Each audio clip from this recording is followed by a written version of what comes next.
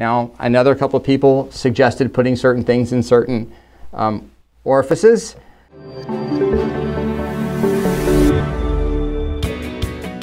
Hi, Tom Fulmer here with National Drug Screening, and here's part of our series Questions from Quora. Today we have a very specific question. It's how effective is putting water in your urine to pass a drug test? So in other words, can you do that? So what I found interesting is the answers to these questions. Really, it's not going to work if it's done correctly. If you use a reputable trained collector, you send the specimen to the laboratory for confirmation testing and for initial screening um, as you should as an employer. But that being said, here are some of the interesting answers that they had. One was yes, go ahead and fill it up with toilet water first instead. Um, obviously, that won't work if the collection is done correctly because there's supposed to be bluing tablets in the toilet. If you're using a collection site that does not follow best practices, anything could happen. So you're not using a trained collector, uh, definitely a downfall in that circumstance because they put a bluing tablet in the toilet, which means if they scoop up the water, it's going to then be blue. Plus, if anybody's ever gotten the toilet bowl stuff on your hands or whatever, your hands are going to be blue too. It'll be quite obvious. So obviously that, uh, that answer, but there were several people that gave that answer, by the way. Um, there's also another one in here that says, um, yes, just carry in some water hidden in a bottle and go ahead and put that in there. Okay, yeah, maybe they could go ahead and do that.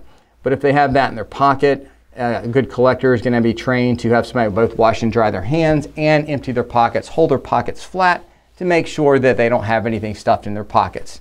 Now, another couple of people suggested putting certain things in certain um, orifices, which uh, we're not going to get into that, but that's a whole nother level of, um, of crazy that's out there. But these are things people are actually recommending people do.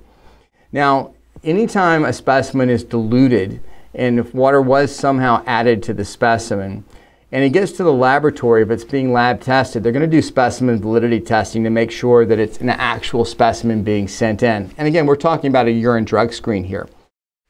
So they're going to do that specimen validity testing, and that's going to help detect that and make sure it's done accurately.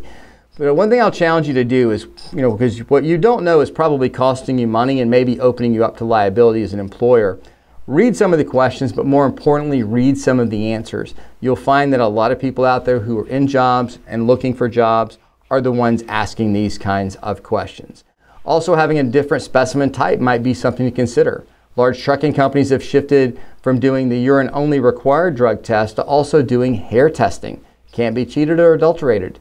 The Department of Transportation has been directed to adopt rules for oral fluid testing. Again, if done correctly, can't be cheated or adulterated if it's done as it should be done. So their alternate specimen types may be available to you. They may be required in certain circumstances.